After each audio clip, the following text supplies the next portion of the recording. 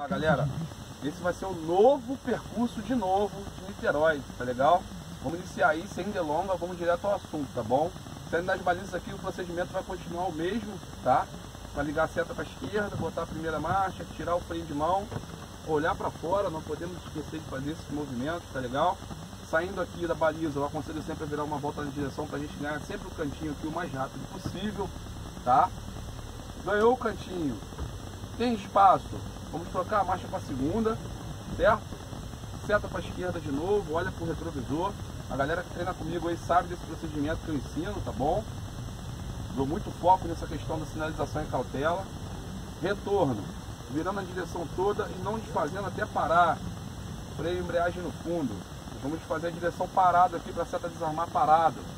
Acertei a direção, tá? Suficiente para desarmar a seta uma vez, já tá bom. Seta novamente, confere a marcha, atenção dos dois lados. Deu para ir, saindo suavemente, desfazendo a direção devagar para sair logo no canto direito. Segunda marcha, acelerando novamente. Terceira marcha e seta para a direita aqui. Olha para o retrovisor. Para que isso, gente? Nós vamos dobrar a próxima direita na rua Pacheco de Carvalho, tá? A rua do Iazerge sinal está fechado, freio primeiro, embreagem no fundo, parou. Ponto morto, tiro o pé da embreagem.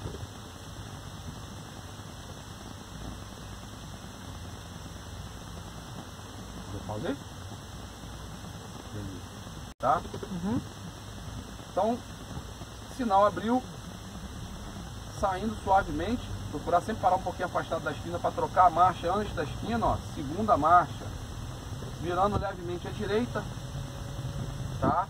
Nessa reta aqui, cabe a terceira marcha, tá bom? Vou ensinar meus alunos a jogar a terceira aqui, tá? E se for o caso, eu vou ensinar meu aluno a reduzir também. Seta para a direita, olha no retrovisor. Vamos dobrar a direita na rua Professor Edu Carrilho, tá? Entramos à direita aceleração suave, seta para a esquerda, olha para o retrovisor esquerdo, se mantendo rente à faixa divisória de pista aqui, tá?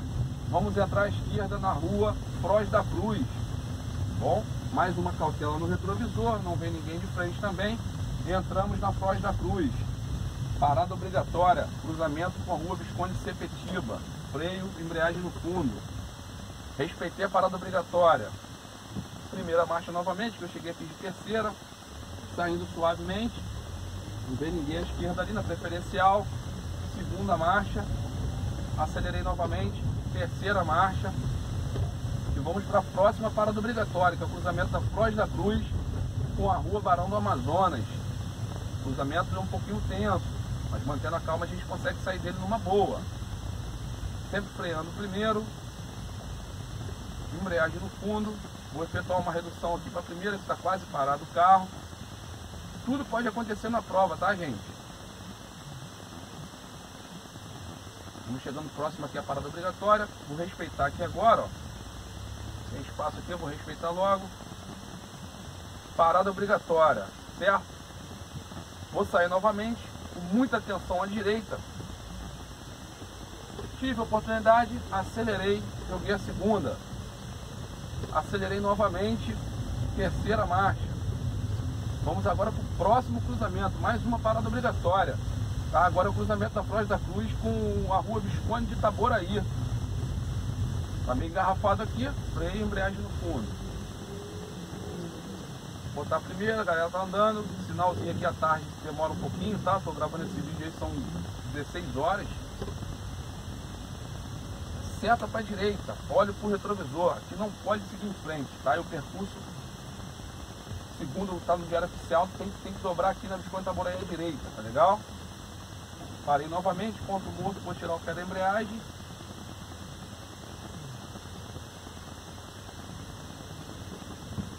Primeirinha de novo.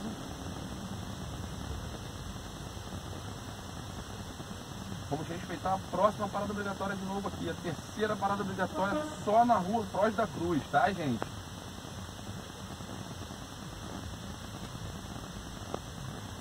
Beleza, vou considerar aqui a parada obrigatória aqui mesmo, porque realmente o trânsito aqui é um pouco complicado essa hora. Então respeitei a parada obrigatória aqui. Aqui eu vou ter que ter atenção aos veículos que estão vindo da esquerda, tá bom? Tá vindo aqui na, na Visconde de Itaboraí. Nós vamos sair aqui à direita, tá? E vamos pegar o próximo, a próxima esquina ali, dobrar a próxima direita na rua, na Avenida Feliciano Sodré, tá bom? E a última reta do percurso, tá? Vou dar um pauzinho no vídeo, que está tudo engarrafado, daqui a pouco a gente volta aí. Então vou voltando, né?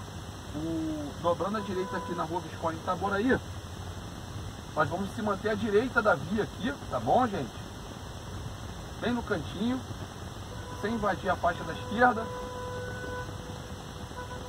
E vamos dobrar daqui a pouquinho, tá? Na próxima direita de novo. Então eu já vou sinalizar e já vou olhar pro retrovisor aqui, ó. Seta, olha pro retrovisor, beleza trânsito está parado, ponto morto, tiro o pé da embreagem. Andou um pouquinho, vou puxar um pouquinho para frente para liberar o trânsito aqui atrás. Beleza. O sinal está fechado.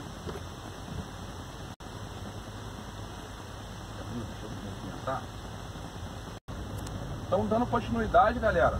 Vamos dobrar aqui a próxima direita na rua Feliciano Sodré, tá?